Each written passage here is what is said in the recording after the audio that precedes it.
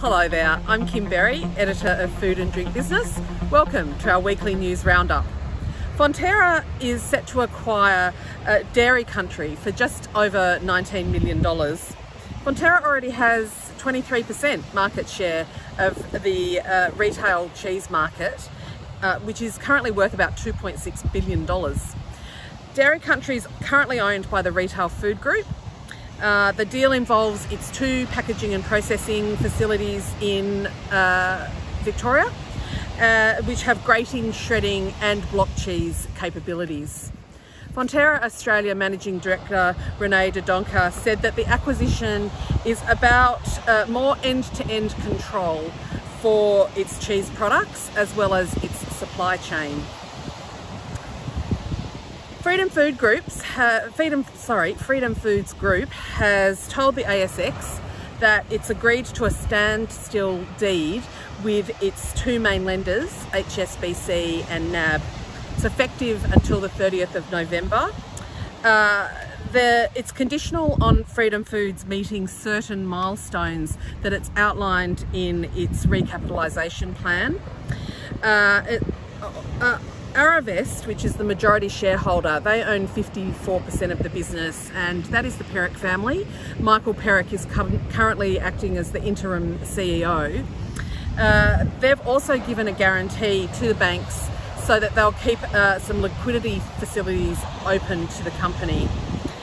The business unravelled in June, late June when it was revealed that it had up to and potentially more than $60 million of inventory write-down and the hasty exit of uh, the then CEO Rory McLeod. The company is also still in a trading halt uh, until October 30. This week seems to have been a week for reports and research. Three have come out that we've reported on this week. One from CSIRO, one from the Australian Manufacturing Growth Centre, and one from the Australian Beverages Council.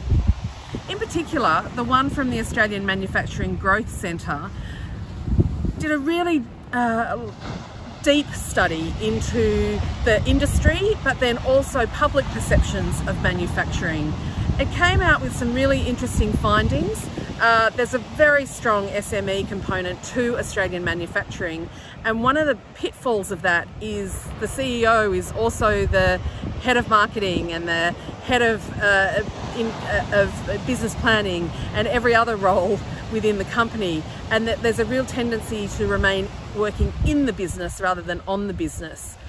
As a result, AMGC has developed not 10 not a 10 point plan but 10 potential strategies for manufacturers where they can dip into any one of the 10 or more to help really build their business. It was a surprising result that more than 80% of manufacturers did not have a, a, a, formal business plan or future financial plan for the company. Uh, another interesting fact that came out of it was that uh, only 5% of manufacturers in Australia produce 95% of our export value. Uh, so as AMGC said, imagine if the rest of that, the, the other 95% of manufacturing in Australia could get more into a growth mindset and build their businesses and take on some of that export capacity as well just what the industry could what the sector could mean for the Australian economy. Uh, with that a big shout out to Hydroflux as our current sponsor for the weekly news bulletin please head to the website foodanddrinkbusiness.com.au for all of the latest news and don't forget to sign up for the newsletter uh, and for our two weekly e-news for everything that's happening in the Australian food and beverage industry. I'm Kim Berry, over and out.